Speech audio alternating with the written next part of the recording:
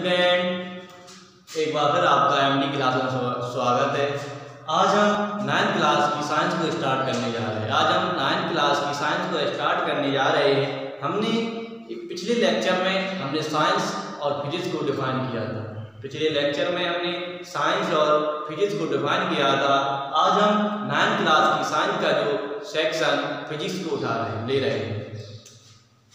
Class इसकी science को ले रहे हैं और इसका सेक्शन साइंस ले रहे हैं। इसका सेक्शन साइंस में हम इसको फिजिक्स ले रहे हैं। फिजिक्स हमने पिछली वीडियो में आपको साइंस और फिजिक्स के बारे में बताया था कि साइंस क्या होती है और फिजिक्स क्या होती है। अगर आपने वो वीडियो नहीं देखा है तो पहले वो वीडियो देख लीजिए तो नाइन्थ क्लास की फिजिक्स का जो फ़र्स्ट चैप्टर है चैप्टर जो फ़र्स्ट है, वो है मोशन।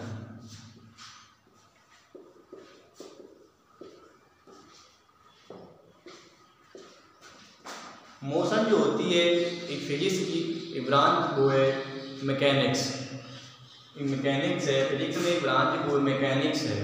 मैकेनिक्स के अंतर्गत मोशन आता है। मैकेनिक्स होती है mechanics is the branch of physics which study with the deals of motion motion of object जो वस्तु गति के बारे में अध्ययन कराती है मैकेनिक जो मोशन अब मोशन सबसे पहले समझेंगे मोशन क्या चैप्टर इसका मोशन चैप्टर फ़र्स्ट है मोशन मोशन क्या है? If a body if a body change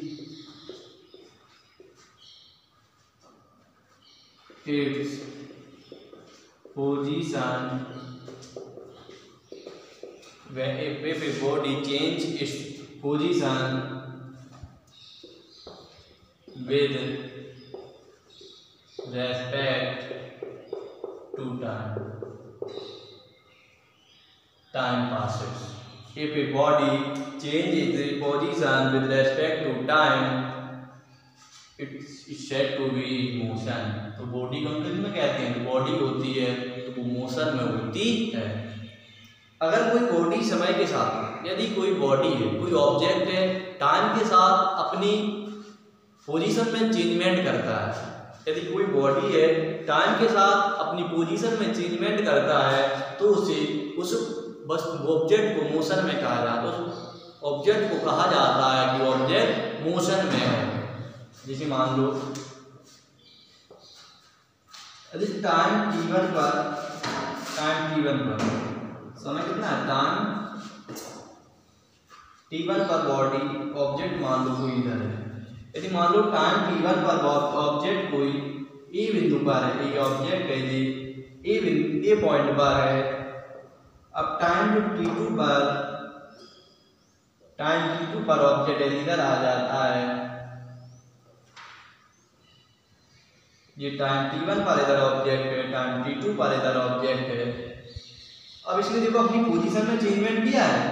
time T one पर ए पॉइंट पर था ऑब्जेक्ट टाइम टी वन पर जो ऑब्जेक्ट था, वो ए पॉइंट पर था और टाइम टी टू पर किस पॉइंट पॉइंट बी पर आ गई इसमें देखो इसने अपनी कुछ दूरी तय की, कुछ डिस्टेंस को कितने कवर्ड किया है। कुछ डिस्टेंस को इसने इस टाइम जो टाइम इंटरवल है, इस इंटरवल में इसने कुछ डिस्टेंस को कवर्ड किया है। तो इसकी डेफिनेशन क्या होती है? If a body change its position with respect to time किसके साथ? इस रेस्पेक्ट बदल रहा है। जो पोजीशन है वो टाइम के रेस्पेक्ट में बदलती है। अगर यदि कोई बॉडी टाइम के रेस्पेक्ट में अपनी पोजीशन को बदलती है तो उसे हम मोशन कहते हैं। उस उसे क्या कहते हैं? मोशन कहते हैं। उसको मोशन कहते हैं। अब हम समझेंगे इसमें रेस्ट एक वर्ड और रेस्ट क्या है? रेस्ट क्या है?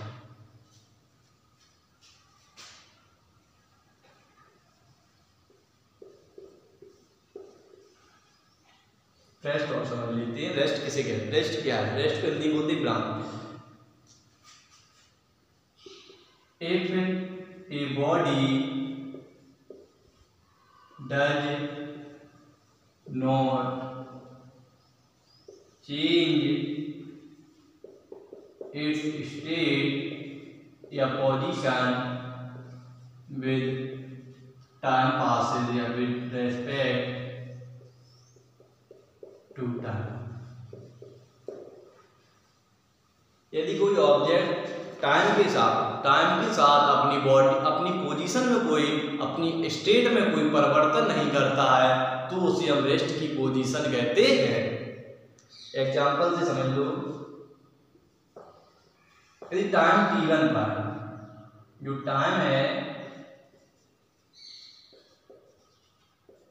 टाइम टी वन पर बॉडी मान लो कोई ए पॉइंट पर है, जो बॉडी बॉडी है कोई, वो ए पॉइंट पर है। अब टाइम की टाइम टी टू पर भी बॉडी इसी पॉइंट ए पर है टाइम टी टू पर भी बॉडी ए पॉइंट पर है तो इसने समय के टाइम के साथ अपनी पोजीशन में कोई चेंजमेंट नहीं किया है। तो जो बॉडी है, उसने टाइम के साथ टाइम के साथ अपनी पोजीशन में कोई चेंजमेंट नहीं किया है। बॉडी थी टाइम टी वन पर भी ए पॉइंट पर थी और टाइम टी टू पर भी ए पॉइंट पर है। तो इसे हम रेस्ट की पोजीशन कहते हैं। तो इसे हम किसी बॉडी की रेस्ट रेस्ट की पोजीशन कहते हैं। If a body does not change its state with respect to time तो the body said to be in rest said to be at rest उसे हम रेस्ट की पोजीशन कहते हैं। इतनी बात आपको क्लियर हो गई होगी। अब हम इसकी आप पहले इसका स्क्रीन स्क्रीनशॉट ले लीजिए आप इसका।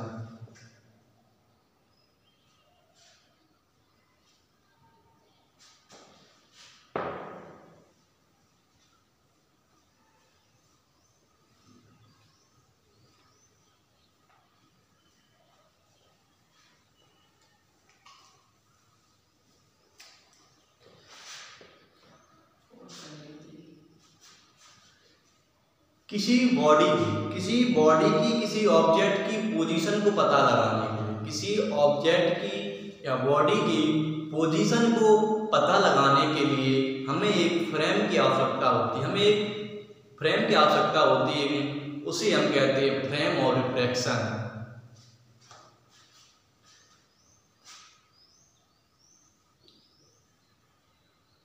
हमें किसी बॉडी या ऑब्जेक्ट की पोजीशन को पता लगाने के लिए एक फ्रेम की आवश्यकता होती है, उसे हम फ्रेम ऑफ़ रेफरेंस कहते हैं फ्रेम ऑफ़ रेफरेंस कहते हैं। Frame of reference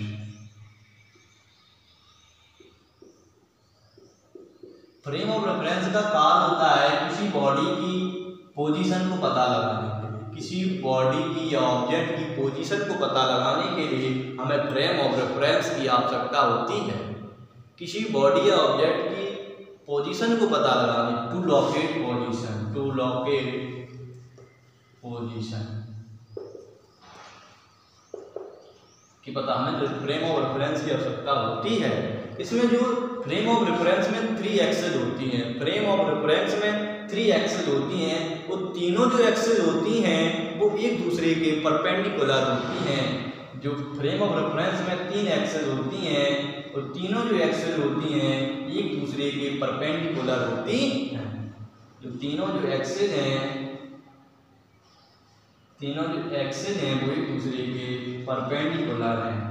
एक दूसरे के परपेंडिकुलर हैं, ये इसके परपेंडिकुलर, ये इसके परपेंडिकुलर, ये इसके परपेंडिकुलर।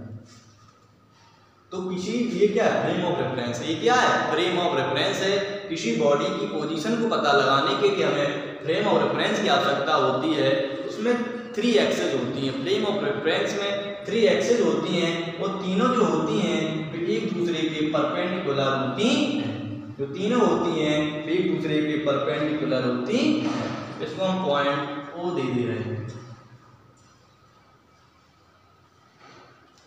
अब जैसे मान लो कोई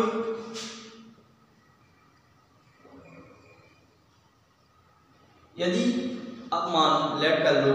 यदि तीनों जो हैं, यदि तीनों जो एक्सेज हैं, यदि कोई भी कोई बॉडी यदि कोई बॉडी तीनों एक्सेस के साथ नहीं बदलती है तो बॉडी किसमें कही जाती है? तो बॉडी को हम, यदि थ्री ये तीन एक्सेस हैं, एक एक्सेस एक थ्री एक्सेस है ये तीनों एक्सिस में से कोई नहीं बदलता है थ्री एक्सिस है। अगर तीनों एक्सिस में से कोई भी एक्सिस नहीं बदलती है, यदि मतलब तीनों एक्सिस में से अगर कोई भी एक्सिस नहीं बदलती है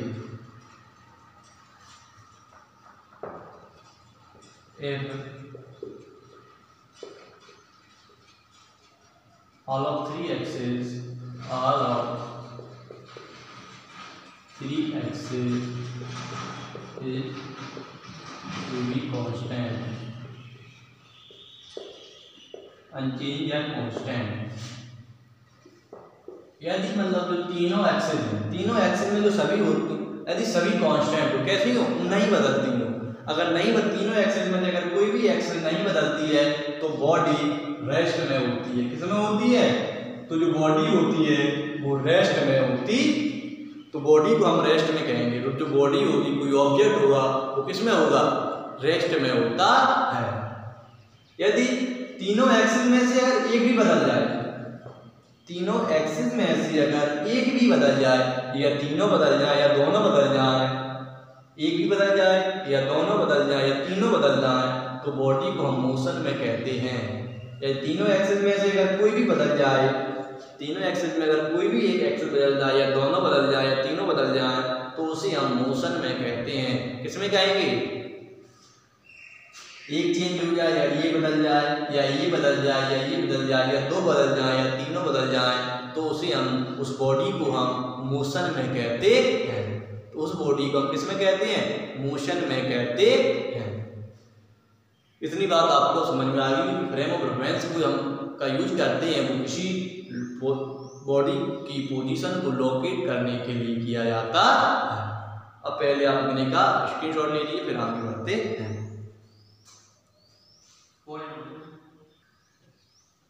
आपको एक एग्जांपल वो बता रहा है मोशन और टेबल है। टेबल है क्या है? टेबल है।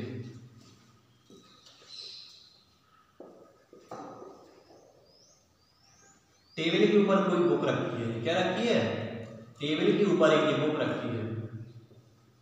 इस समय बुक कैसे जो हम देख रहे हैं यदि मान लो कोई व्यक्ति अगर देख रहा हो कोई व्यक्ति अगर बुक को देख रहा हो तो बुक रेस्ट में होगी। किसमें होगी वो रेस्ट में होगी।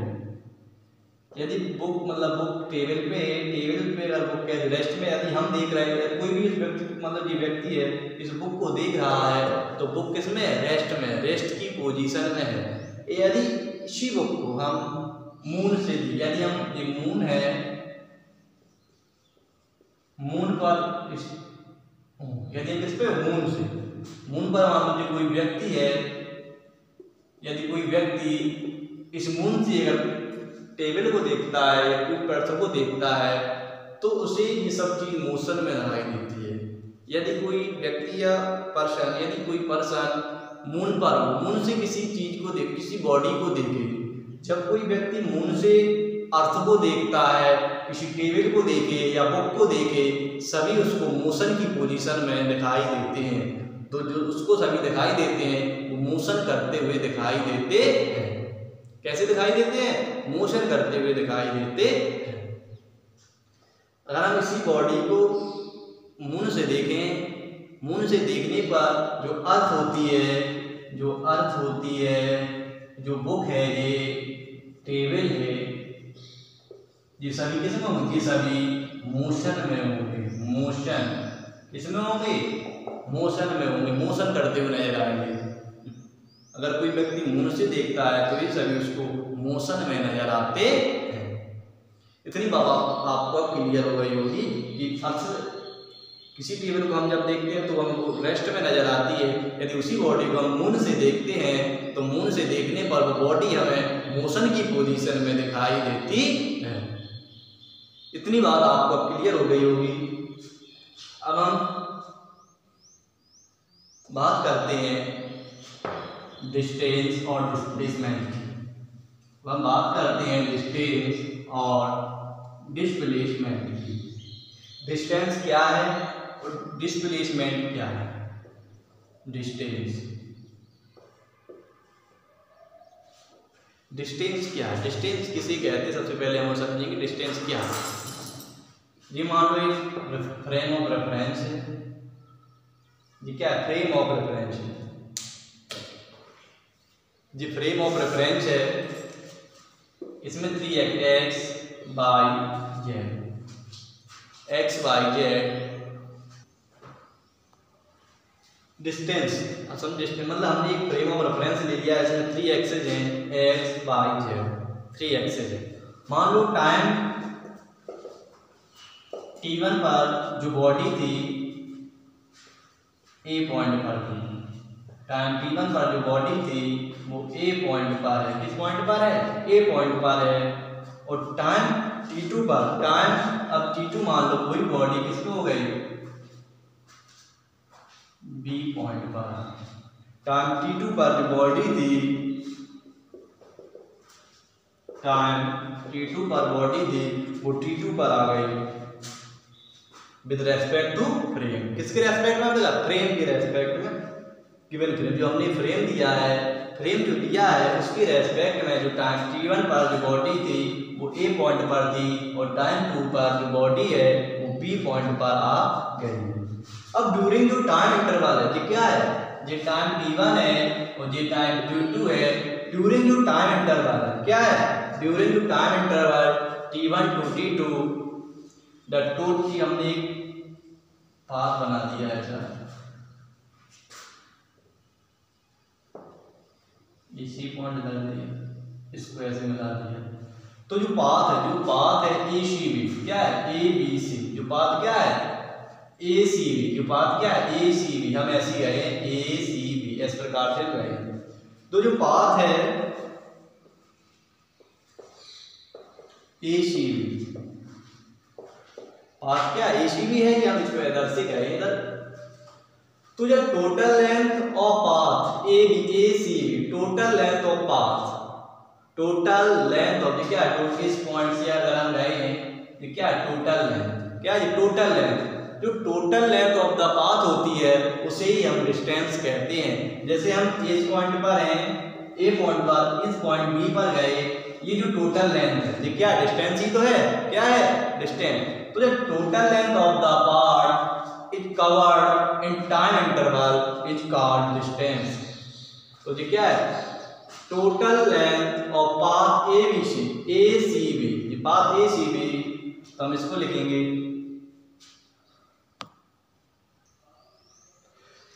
तो ये क्या during time interval T one T two during time interval T one और T two during the time interval T one two T two the particle moves along the path ACB path क्या है? ACB इस प्रकार से हम line during जो path क्या है? ACB जो टाइम इंटरवल T1 और T2 में उसने कितनी दूरी देखी है? During time interval T1 to T2 जो पार्टिकल है, जो कोई बॉडी है इतना घूम चल जाती है। Path T1 T2 time interval में जो बॉडी है पार्टिकल है move along the path ACB अब हम इसकी डिस्टेंस की डेफिनेशन कैसे लिखेंगे जी? The length of the path A C B the length of path A C B is called the distance is called distance travelled during the time interval T two T one two T two the length of the path A C B is called the distance travelled the time interval T two T आपको इसको बता रहे हैं plus जो distance है distance की जो unit होती है, वो होती है मीटर डिस्टेंस की जो यूनिट होती है मीटर होती है. जो डिस्टेंस है डिस्टेंस में केवल मैग्नीट्यूड होता है. जो डिस्टेंस में केवल मैग्नीट्यूड होता है डायरेक्शन नहीं होती है. इसलिए डिस्टेंस होती है, वो स्केलर क्वांटिटी होती है. पहले आप अपने का स्क्रीनशॉट ले लीजिए, फिर हम आगे बढ़ते हैं. अगर आपको ये हमारा वीडियो अच्छा लगा हो तो लाइक कीजिए शेयर कीजिए सब्सक्राइब कीजिए। अगर आपको इसे समझने में कोई भी परेशानी होती हो, दिक्कत हो, आप कमेंट सेक्शन में आप इसे लिख सकते हैं। हम आपकी प्रॉब्लम को सॉल्व करने का पूरा प्रयास करेंगे। Thank you